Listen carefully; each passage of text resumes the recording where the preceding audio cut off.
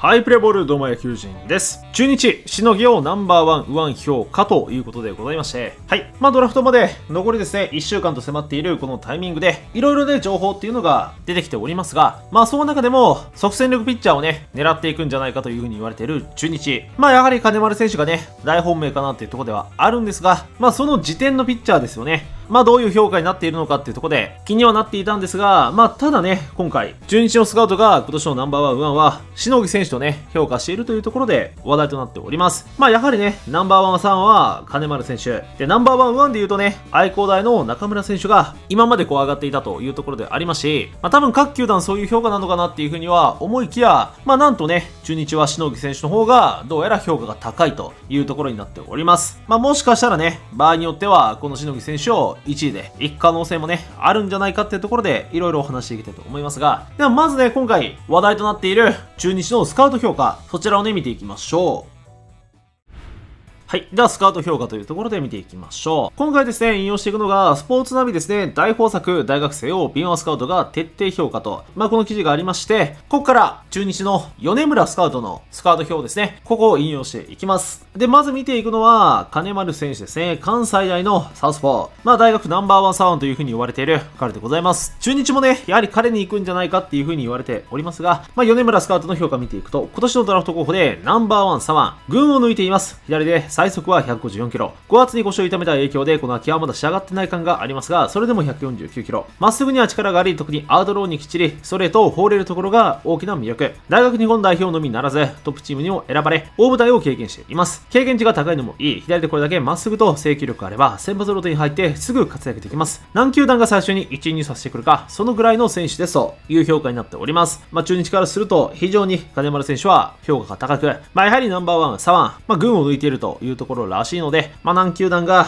1位にさせてくるのか、まあ、その中に中日が含まれているのかというところでございますが、まあ、やっぱその辺はね、腰を痛めているというところがあっても、不動の評価みたいでございます。で、そして、もう一人気になるのが、愛知工業大の中村選手。まあ、地元の愛知リーグの選手っていうところでございますんで、まあ、中村選手にもしかしたら行くんじゃないかっていうところも言われていたんですが、まあ、ただ、米村スカウトのスカウト表を見ていくと、昨年12月の大学ジャパン候補合宿では、157キロ出すなど、スピードはバンバン出ます。侍ジャパントップチームにも呼ばれ、3月を欧州代表との強化試合ではリリーフで出てきて1回を155キロ超のまっすぐでビシッと抑えました。ただ、リーグ戦では少し防御率が高くなっているので、そこが不安なところでしょうか。どちらで判断するかですね、ということをね、言っておりました。まあ、しっかりとね、評価していると思うんですが、今年の秋のリーグ戦、まあ確かにですね、防御率は3点台というところで上がってしまっております。で、あとは先発で見るのか、リリーフで見るのかっていうのが結構ね、言われてるピッチャーでございますんで、まあその辺をね、どう評価するのかというところを言っております。まあただね、中村選手に関しては、リーグ戦の防御率は高いんですが、やはりこう、スタッツはね、ズバ抜けたものがありますし、その辺は変わっていない。で、リリーフタイプっていうところも言われがちはあるんですが、まあやっぱね、平均球速っていうところも早いまま9回まで落ちないというところもありますんで、まあ先発でいけるんじゃないかなっていう声もね、球団によっては全然ある中で、まあこういった評価というところになっておりますんで、まあ意外と評価は高くないのかなというか、まあ思ったよりね、米村さん、中日に関しては、まあ、そこまでね、評価していないんじゃないかなというところがこの辺からも読み取れます。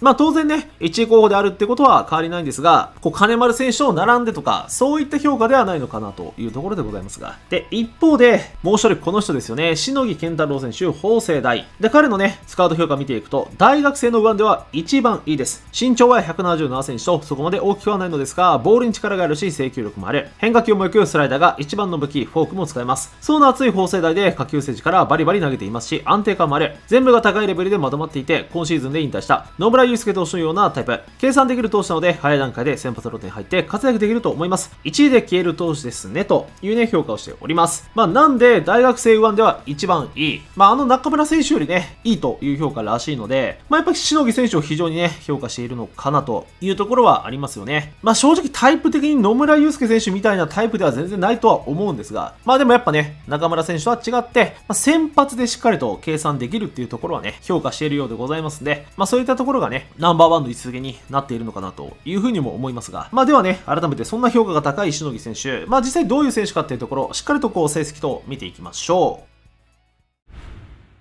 はい。篠木健太郎選手、法政大、6大学ナンバーワン右腕。出身地は群馬、2002年5月7日生まれ22歳、177センチ、75キロポジションピッチャーで、右投げ左打ち。マックスが157キロ。球種がスライダー、カットカーブ、フォーク、チェンジアップなどを投げます。木更津総合高校では2年生夏からエースの座を掴んで、当時から上位候補としてプロからも注目される存在でありましたが、志望届を出さず、現在の法政大に進学。すると1年からベンチ入りし、早くから結果を残すと、2年春には最終戦で初完封もマーク。さらに2年生夏には大学日本代表にも選出され、3年春には最優秀防御率も受賞するなど、1位候補として注目される存在へ浮上。3年生秋は肩を痛めておりましたが、4年春には復活。2度目となる大学日本代表にも選出され、日本の優勝にも貢献を果たしていたというところでございます。はい、この篠木選手、まあ、高校時代からね、非常に注目されていたピッチャーでございまして、まあ、死亡届出せばですね、上位指名もあるんじゃないかというところがね、言われていたピッチャー。まあ、ただ、そこを出さず、法政大に進学。1年生からバンバンね、投げておりまして、通算で見ていきますと、リーグ戦4年春までで41試合11勝10敗、216.1イニングで防御率2.16、奪三振率7.74で自主球率4.08と、まあ、6大学で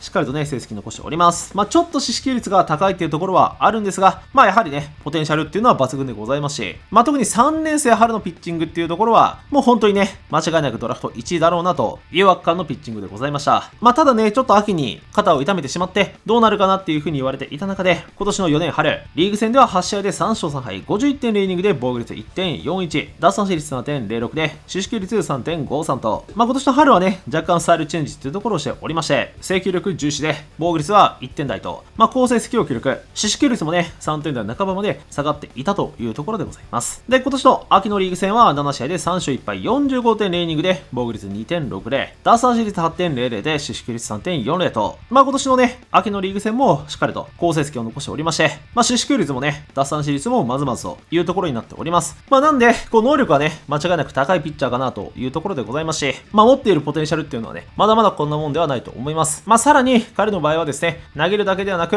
打つ方もね、しっかりといい選手でございますし、で、あとはフィールディング等もね、ずば抜けているというところでございますんで、まあ、総合力で見ると、まあ、かなり高いんですよね。まあ、そういうところも加味してね、中日はかなり高く評価しているんじゃないかなというところもあるのかなというふうには思うんですが、まあ、ただやっぱね、こう中村選手より高評価っていうのは、まあ、正直意外だなというところはありましたし、まあ、ジャパンでもね、中村選手がね、こうエース的な扱いでありましたし、まあ、走行試合とか見てもね、やっぱ一番最初に投げてたのは中村選手というところでございましたし、まあ、ジャパンのトップチームにも選ばれていたのは中村選手というところではございましたんで、まあ、どっちもね、いいピッチャーなのは間違いないんですが、まあ、ちょっとね、意外な評価なのかなというところでございましたが、はい。ではね、そんな中日でございますが、まあ、ドラフトのね、戦略っていうところを、まあ、ざっとお話していきましょう。はい。じゃあ、ドラフト戦略っていうところでお話していくと、まあ、やっぱね、中日に関しては、まあ、今回、しのぎ選手の名前が出てましたが、まあ、でもやっぱ金丸選手特攻が一番ね、可能性は高いのかなというか、まあ、何球団集まるかわかんないってところはあるんですけど、まあ、でもやっぱね、まずは彼にというところになってくるんじゃないかなというのは思うところでもありますし、まあ、それを望んでるファンっていうのもね、多いのかなというふうに思います。まあ、2指名もね、14番目でございますんで、まあ、いろいろこの辺もね、外れた時にリカバリーしやすいっていうところもありますんで、まあ、やっぱそれでいいんじゃないかなというところではありますよね。で、もしね、外した場合には、まあ今回名前が挙がってきたしのぎ選手、まあ彼に行くっていう流れに、まあなってくるのかなというところはありますよね。まあ当然ね、高校生ピッチャーとか、野手行くとか、まあそういったところはあるんでしょうが、まあでもやっぱなんか、即戦力ピッチャーに絞るというところで言うと、まあしのぎ選手になってくるのかな。まあそもそもね、中村選手に関しては、外れでは残ってないでしょうし、となったらね、まあしのぎ選手が残っていれば、行くという感じになってくるんじゃないかなというふうに思います。で、さらに、左ピッチャーだと、まあなんかやっぱり井原選手とかが候補になってくるのかな。まあ、小笠原選手がね、抜ける可能性もありますし、どうしても左が欲しいってなったら、まあ、徳山選手あったり、佐藤選手らも上がってきているんですけど、まあでも、彼らのスカート表を見てもね、まあ、めちゃくちゃ評価してるかっていうと、そこまででもないのかなっていうのもあったんで、となればやっぱね、かなりマークしている井原選手、まあ、彼とかに行く可能性もね、左ではあるのかなというふうに思います。で、まあ、まずね、金丸行って、まあ、その後外したらどうなるかというところだとは思うんですけど、まあ、今後ね、中日のドラフト戦略っていうところ、まあ、もしかしたら抗原等もあるかもしれませんので、まあ、そのあたり、残り1週間ですね、要注目かなというふうに思います。はい。というわけで今日は以上ですね、最後のって何度見て終わりましょう。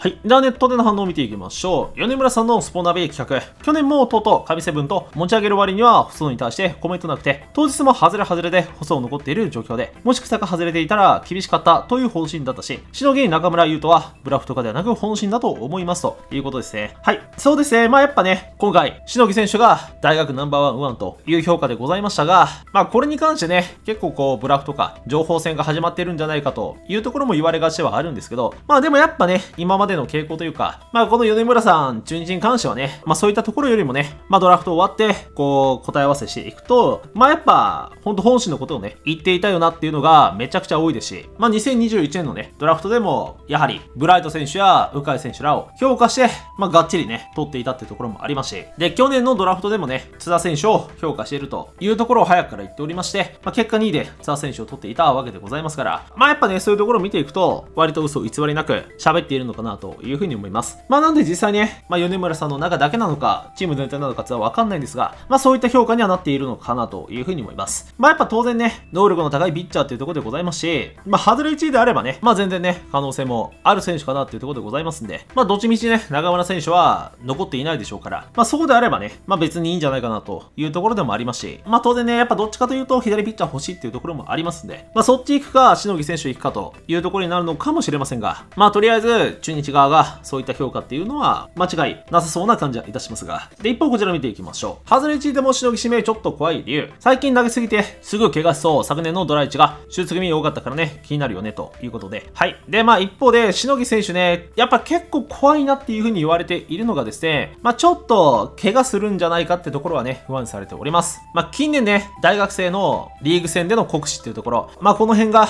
割と問題視されておりまして、まあ一昔前はですね、もっともっとっとエグかったんですが、まあただね、だんだんプロも、高校生もその辺ね、気にしだすようになって、まあ、やっぱ相対的に大学生はね、中1日とかで余裕で先発やったりしておりますし、まあ、しのぎ選手もね、そういった起用っていうのがかなり目立っておりますんで、まあ、そういったところは心配されているところ、まあ、実際ね、去年のドラフト1位の選手、まあ、草加、下村、そして西舘幸太、まあ、3選手がもうすでにトミージョンしているんですよね。まあ、やっぱこれは異常事態かなっていうふうに思いますし、こう今まではね、耐えれていた登板間隔、球数というところであっても、球速がね、高速化してきた今の現代野球においては、やはりですね、なかなか体の方がね、耐えれなくなっているんじゃないかなというところもありますし、まあ、それで言うとやっぱしのぎ選手、今シーズンね、結構投げているというところでもありますし、肩のね、怪我もあったっていうところもございますんで、まあ、やっぱその辺もね、不安されるところかなというふうに思います。まあ、中日で言っても、やっぱまあ、草加選手が1円目からトミー・ジョン。で、またね、しのぎ選手行って、1円目、故障っていうところにもなれば、またかよというところにもなってしまいます。まあ、そういったね、ところからも、ちょっとまあ、不安の声が上がっているんじゃないかなというふうに思いますが、まあ、果たしてね、その辺含めどうなってくるのかなと。はい。というわけで今日は以上です。よければチャンネル登録、コメント、高評価などいただければ嬉しいです。野球人でございました。せーのゲームセット。ありがとうございました。